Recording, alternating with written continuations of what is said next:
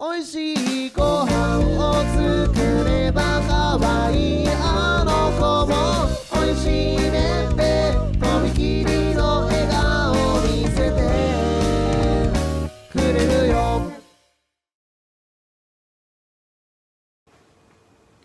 皆さん、こんにちは。アフタービーミュージックスクールギター講師の竹澤勝成でございます。今年も、えー、バレンタインの季節がやってきて、えー私が女子力の高さを、えー発揮する季節、やってまいりました。えーちょっと今年はチョコレートから離れて生キャラメルを、えー作ってみようかなと思いますので、興味がありましたらぜひトライを、えーしてみてくださいませ。本当もう皆さんがね、あの、すごいもうびっくりするぐらい、もうびっくりするぐらい、もう簡単すぎて、わお、簡単、びっくり、わお、はははっはって立ってしまうような、え内容なので、えちょっと興味があったらチャレンジしていただけると、えー嬉しいな、 something でございます。よかったらトライしてみてください。はい、 something。えーとりあえず、まあ、細かいことは動画を見ながらえーお話しさせていただこうかなと思いますので、とりあえず動画をスタートさせてみましょう。Yeah, let's play. あーバシコーンえー、滝沢がとっても、えー張り切っております。今回は生キャラメル、えー必要な材料はたった4つだけです。生クリーム、牛乳、砂糖、バター、この4つだけです。で、あった方がいいものとしては、バニラエッセンスとか、メープルシロップとか、蜂蜜とかって感じでしょうか。で、こういうバットとか、えー平たいバットとか、木しゃもじとかがあるとさらに作りやすくていいね、みたいな、そんな感じです。簡単に工程を説明させていただきますと、もう、生クリーム、牛乳、バター、砂糖、もうこの4つの材料を鍋の中に突っ込んで、もひたすらこう、ね、弱火にかけるだけって感じです。もう煮詰めて煮詰めて煮詰めて、で、このね、水分を飛ばして飛ばして冷やし固めるっていう、もうそれだけです。なので、まあ、言ってみれば素材選びが結構大事なポイントになってくるかなと思います。いいものを使うとかそういうわけじゃなくて、どんな素材を使うかということです。例えば砂糖といっても、そのグラニュー糖とか、あの白砂糖とか、あと三黄糖とか、こういうきび砂糖とか、まあ、いろんな砂糖がありますけれども、どれを使ってどんな味にするかっていうイメージを持って、いろいろこう、ね、あの試行錯誤してみるとすごく面白いなと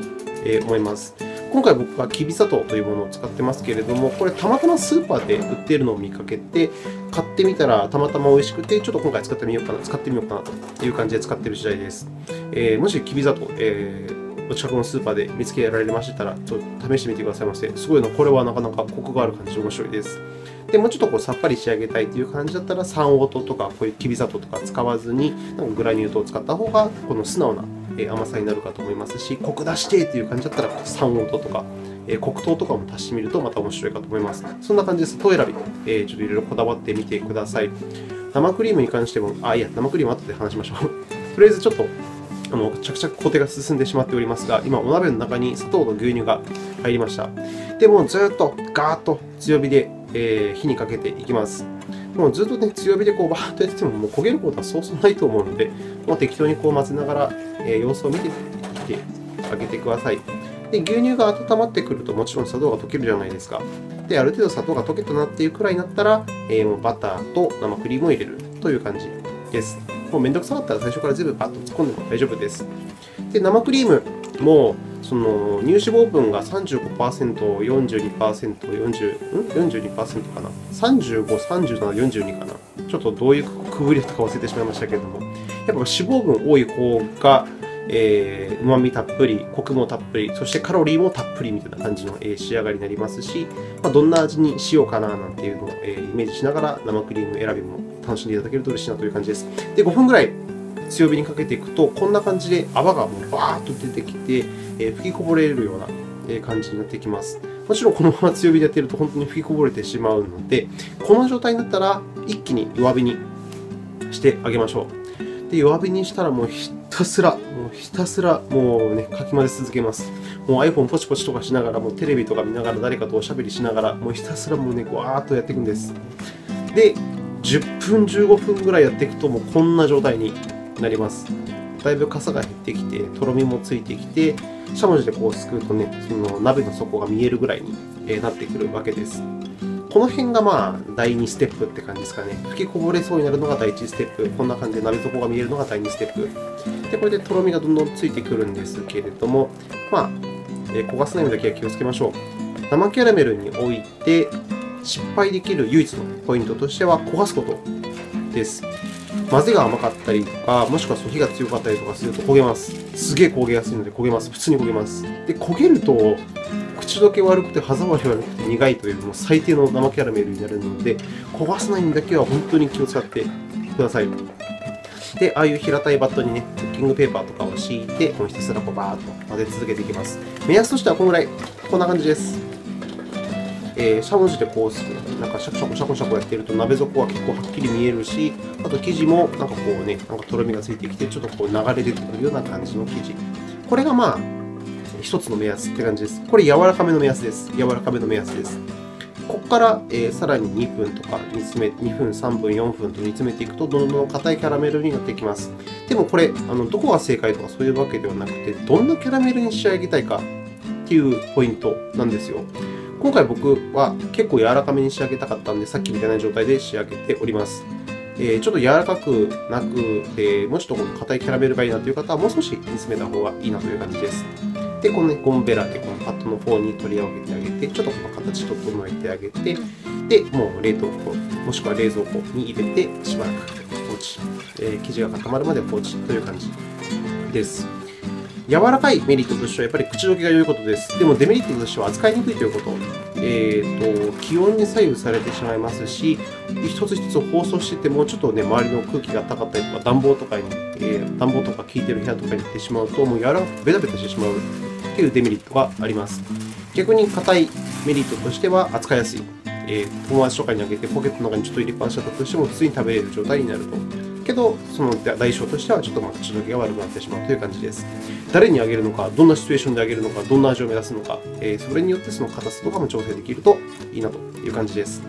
で、あの包装の仕方なんですけれども、いろんな包装あると思うんですが、えー、こんな感じでもね、このクッキングペーパーっていうんですかね、クッキングシートっていうんですかね、これを使うのがまあ一番手っ取り早いかなって感じです。さっきみたいにこのある程度の長さに、えー、出してあげて、で、まあ、ね、カッターとか、あの本当はこんな包丁使っちゃいけないんですけども、あのカッターとかで、まあね、一つ一つ切っていってあげて、これでこのね、個包装用の用紙が OK という感じです。これが包装紙になります。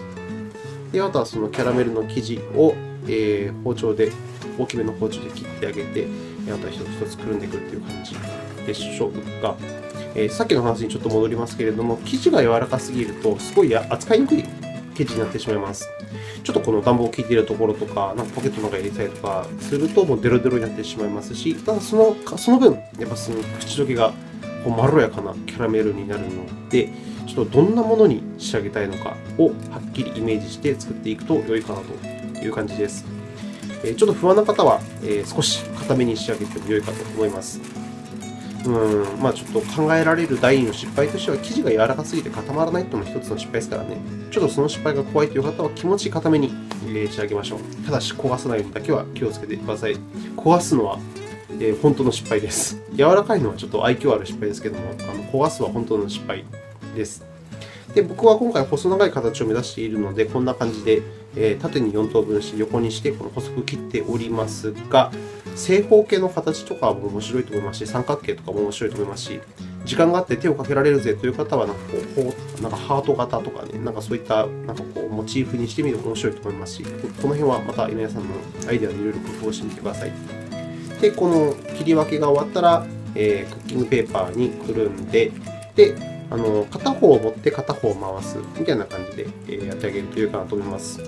結構緩いえー、ねじり方だとその持ち運んでる時にあの崩れてしまうので結構きつめにキュッとやってあげると良いかなと思います。根元を根元を絞るような感じでキュッとやってあげるような感じでしょうか。でこれをひたすら一つ一つ、えー、くるんでいってあげます。あの材料とかも少ないですしあの工程も少なくてすごい簡単っちゃ簡単なんですけども、まあ、ちょっと時間かかるなって感じですよね。まあ、その分、なんかこうね、あの美味しくなれと思いながら、その生地を混ぜたりとか、美味しく食べてくれと思って、包装したりとかして、ちょっと愛情かけるとこかなって感じです。で、こう、出来上がりがこんな感じ。で、しばらく使わないという方は、ジップロックの中に入れて、冷凍しておく。冷蔵ではなくて、冷凍しておくっていうのも手で、一つの手でございます。えー、明日とか明後日とかに食べるわけじゃなくて、ちょっと1週間後とかに使いたい。もしくは、しばらく長期保存しておいて、小分けで食べたいとか、えー、青綿。えー、いう時だったら、あんな感じでジップロックに入れて、冷凍保存しておくのも良いかと思います。まあ、冷凍だったら多分1ヶ月とか余裕で持つと思いますので、匂いが移らないようにだけは気をつけて、ジップロックに保存して冷凍しておく。なんていうのも良いかなという感じでしょうか。えービデオが終わってしまいましたけど、まあ、以上な感じでございます。もう一回言いますけれども、焦がすのだけは気をつけてください。これだけは本当の失敗です。焦がすと、焦がすも全てがなしです。で、まあ、他の失敗としては柔らかすぎて生地が固まらない。これもまあ一つの失敗です。なので、ちょっとその失敗が怖いなという方は、うちょっと固めに仕上げてみても良いかと思います。もし、夏場、暑い季節に作るという場合でしたら、その時は本当固めに作らないとやばいと思います。普通にもうお茶込んでる時点でね、すごいもうね、キャラメルが溶け出してもうね、ポケットの中がぐちょぐちょとか、カバンの中がぐちょぐちょとか、もうそれはもう最悪のケースなので、えー夏場に作る場合だったら、暑い季節に作る場合だったら結構固めに仕上げてみてくださいませ。で、まあ、えー砂糖とか生クリームとか、えーどんな味を目指しているのかによって、ちょっとこういろいろこう変えたりとかするとまた面白いかなと思います。すごい簡単に、えーたくさん作ることができるので、たくさんの人に配らなきゃいけないなんていう時は、まあ、ぜひ活用してみていただけると嬉しいなという感じでしょうか。はい。今回の動画は以上でございます。えー頑張ってチャレンジしてみてくださいませ。それではまた違う動画でお会いしましょう。さようなら。